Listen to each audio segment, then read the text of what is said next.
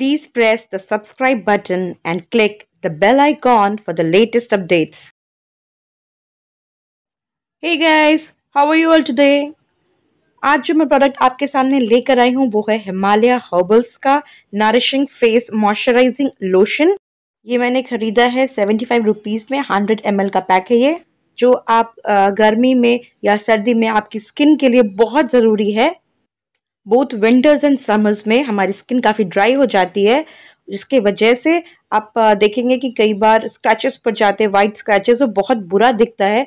तो हमें एक अच्छे मॉइस्चराइज़र की ज़रूरत है, जो स्किन को हाइड्रेट करे एज वेल एज स्मूदन करे। तो मैंने ये मंगवाया है हिमालय का फेस मॉइस्चराइजिंग लोशन मैंने सोचा इसको भी मैं ट्राई करके देखूँ और फिर आपको मैं इसका रिव्यू करके बताऊँ। तो इसके जो मेन इंग्रेडिएंट्स है, वो है aloe vera and almond oil aloe vera की एंटी इन्फ्लामेटरी प्रॉपर्टीज़ होती है और एंटी टैनिंग प्रॉपर्टीज़ होती है। लाइक like, जैसे मेरी स्किन है वो काफ़ी एक्ने प्रोन है काफ़ी ब्रेकआउट्स की प्रॉब्लम है तो मुझे अपनी स्किन को ज़्यादा केयर करना पड़ता है। सिमिलरली जितनी भी लड़कियाँ जिनकी ऑयली स्किन है उनको बहुत ज़्यादा केयर करना पड़ता है अपनी स्किन का नहीं तो बहुत ईजिली आपको एक्ने की प्रॉब्लम हो सकती है ब्रेकआउट्स हो सकते हैं।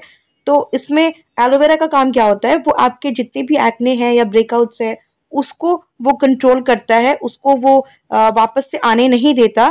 और जो इसकी एंटी टैनिंग बेनिफिट है, वो ये है कि आपकी स्किन गर्मियों में कई बार टैनिंग की प्रॉब्लम हो जाती है।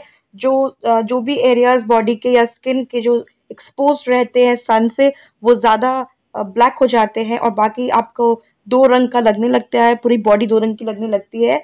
जो ज़्यादा एक्सपोज होता है, उस, वहाँ पे डार्कर शेड हो जाता है बॉडी का। तो उसमें भी ये काफ़ी हेल्पफुल होता है। कई बार आप देखेंगे, आप जब गॉगल्स लगाकर निकलते हैं बाहर तो जिस एरिया में गॉगल्स लगाया हुआ है, वो एक्सपोज डायरेक्टली नहीं हो रहा है तो वो एरिया आपका फेरर होता है। बट जो भी एरिया एक्सपोज है the rest of the part of your face that is directly expose to sun और वो एरिया आपका थोड़ा डार्कर हो जाता है स्किन में टैनिंग दिखने लगती है। उसके लिए ये पर्टिकुलर फेस लोशन काफ़ी अच्छा है, ये फ़ायदा करेगा। दूसरा, इसमें आलमंड ऑयल है, जो स्मूथनिंग का काम करेगा। Almond oil you also know बहुत बहुत अच्छा नेचुरल स्मूदनर है तो ये आपके स्किन के लिए भी बहुत अच्छा है। तो अगर इसकी कंसिस्टेंसी की बात करें हम तो ये ना ही बहुत रनी है, ना ही बहुत थिक है, एक नॉर्मल कंसिस्टेंसी वाला है। और आप देखिए वाइट कलर का ये लोशन आता है, और इसे जो आपने लगाना है फेस एंड नेक पे लगाना है मसाज करते हुए, जिससे कि ये पूरे अच्छे से फैल जाए। अभी देखिए मैं आपको ये अपने हाथ पे दिखाती हूँ इसे लगाकर इसे इसी तरीके से आपको मसाज करना है फेस पे या नेक पे अनलेस एंड अनटिल ये एब्जॉर्ब हो जाए प्रॉपरली तो इट इज़ वेरी सिंपल वो अच्छे से फैलता है तो अच्छे से ईजिली एब्जॉर्ब भी कर जाता है, बहुत ज़्यादा टाइम भी नहीं लगता. एंड ऑल्सो आप इसको एज अ हैंड क्रीम भी यूज़ कर सकते हैं. आप देखिए स्किन कितनी शाइनी और पर्की लग रही है, काफ़ी फ्रेश भी लग रही है.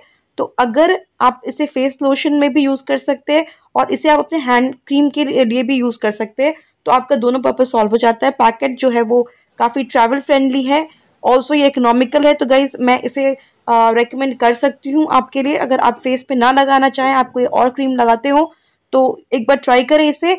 अदरवाइज़ आप इसे हैंड क्रीम में ज़रूर यूज़ कर सकते हैं। तो गाइज़ आज के लिए इतना ही। मिलते हैं कल किसी नए प्रोडक्ट की रिव्यू के साथ। अगर आपको मेरा ये वीडियो अच्छा लगा होगा तो please do not forget to give it a big big big thumbs up and if you are a new visitor to my channel do not forget to subscribe also press the bell icon so that you'll be updated with the latest videos और इसके अलावा, अगर किसी product का review आप करवाना चाहते हो तो आप उसे कमेंट सेक्शन में मेंशन कर सकते हैं।